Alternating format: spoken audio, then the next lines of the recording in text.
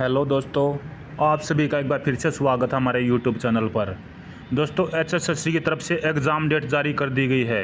जी हाँ दोस्तों, जो आप सभी जानते हैं सी टी मेन्स एग्ज़ाम जो ग्रुप बचे हुए ग्रुप हैं, उनमें से कुछ ग्रुप के जो टाइपिस्ट वगैरह के स्टेनोग्राफर वगैरह के एग्ज़ाम डेट है, वो जारी की गई है।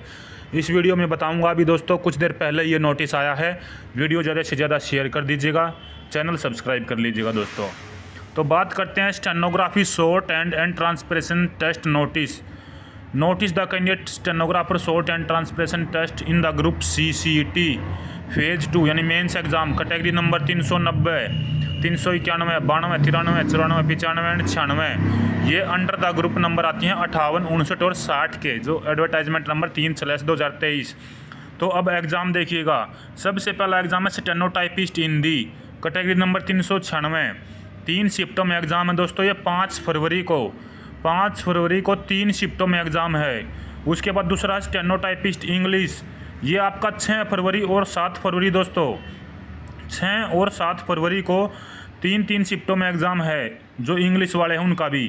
तीन सौ पचानवे नंबर इसमें कैटेगरी नंबर है। उसके बाद है सीनियर स्केल स्टेनोग्राफर इंग्लिश और जूनियर स्केल स्टेनोग्राफर इंग्लिश।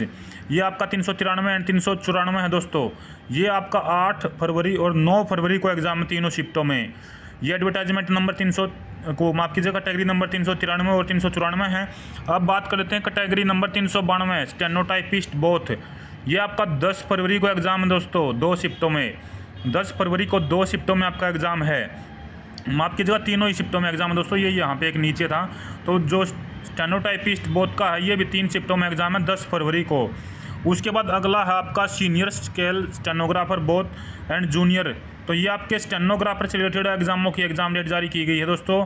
ये जो सीनियर और जूनियर है दोस्तों, आपका, ये आपका 11 फरवरी को एग्ज़ाम रहेगा तीन शिफ्टों में। तो दोस्तों, ये स्टेनोग्राफर से रिलेटेड जितने भी आपके, जिस जिस पोस्ट के लिए आप एलिजिबल थे, जिस जिस कैटेगरी नंबर में आपको एग्ज़ाम आपका भरा हुआ था तो इनका एग्ज़ाम डेट आपकी जारी की गई है। पाँच फरवरी को, उसके बाद छः और सात फरवरी को, आठ फरवरी को, उसके बाद दस फरवरी को और ग्यारह फरवरी को। तो ये आपकी एग्ज़ाम डेट दोस्तों हैं।